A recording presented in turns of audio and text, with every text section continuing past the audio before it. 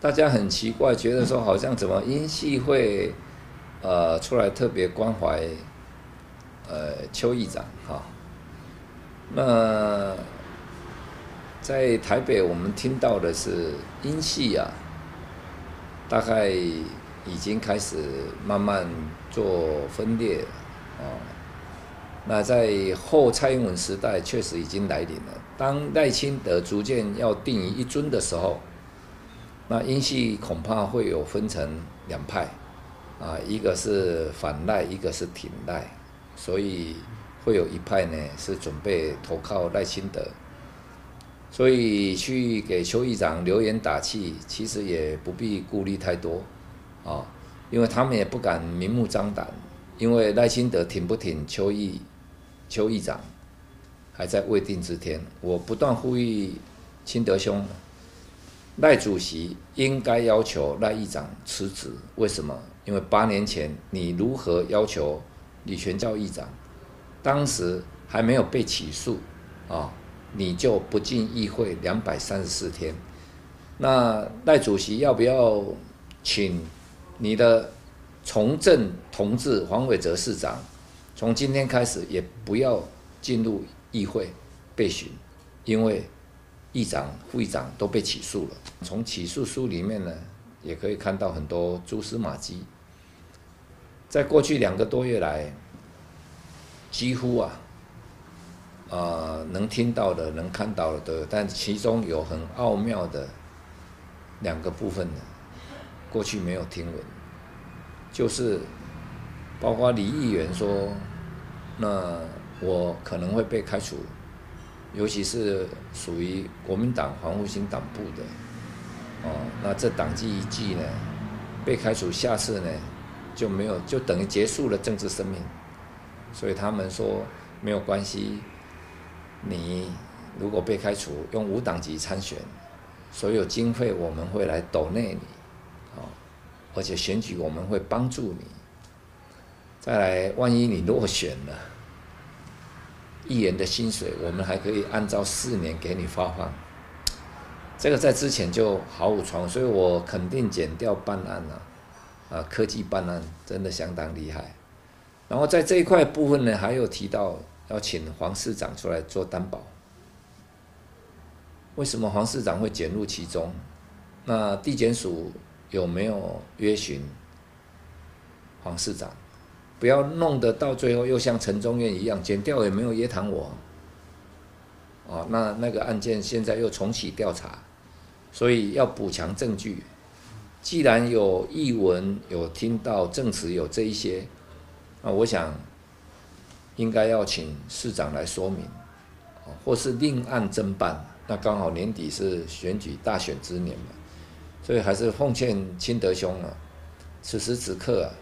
挥泪斩斩马谡啊！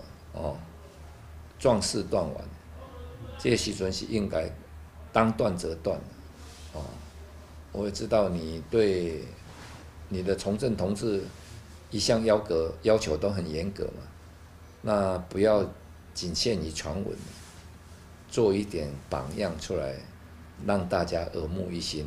以清德兄的个性，不会去做所谓的默认。啊，啊那当然，他现在也应该在收集更多的资料，啊，那要一个说法。不过，假如他是采取默认的话，那最后受伤害是他自己。哦，呃，我想他的个性呢，哦，他也是嫉恶如仇。哦，这是他自己说过，啊，我是选择相信他。呃，我对他的了解，说实在，如果以现在的黄市长比以前的赖市长，嗯，那是天差之远了啊，天差地远。那可是大家对清德雄有这么高的期待，总不能说只靠期待你就蒙混过去嘛，啊，要做一点事，用一点霹雳手段展现了清德兄捍卫官真啊，那断绝黑金的。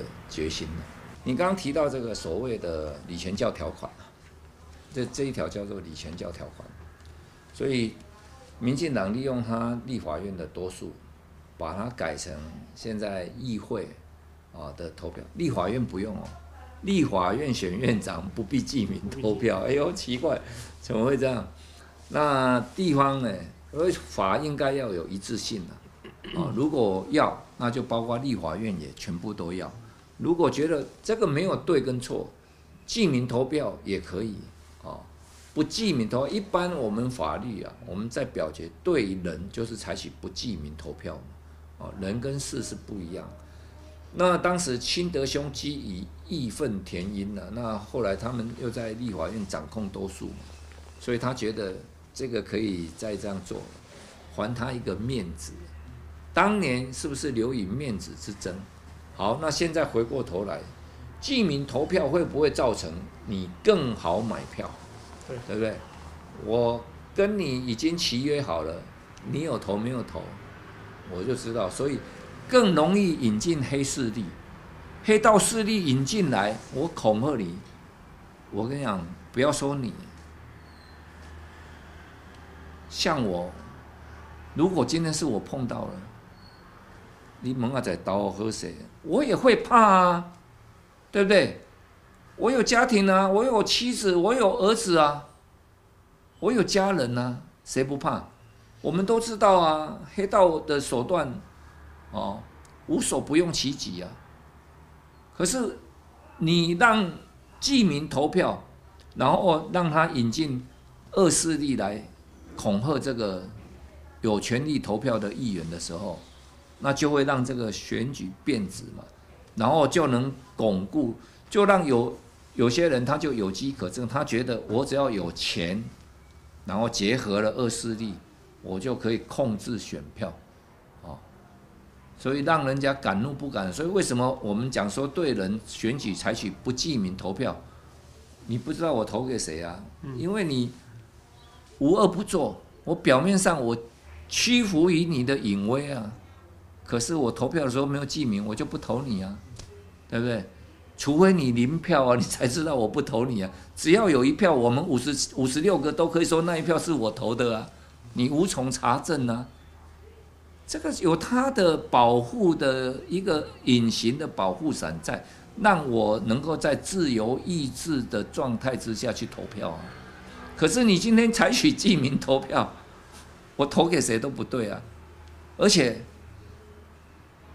反过来想，你跟我买票，我不同意，你你叫我投给我本来要投给我的同党主席、同党的同志，现在你跟我买的不是叫我买给你哦，你叫我说我只要不投票，我只要投废票，我只要投自己，就算成了，就算。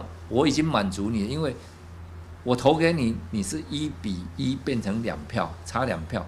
我不投给他，投给自己，没有投给你，你变成差一票，你等于多了一票，你也能满足你当选的条件。那这变成让贿选的过程当中有更多的几率跟途径。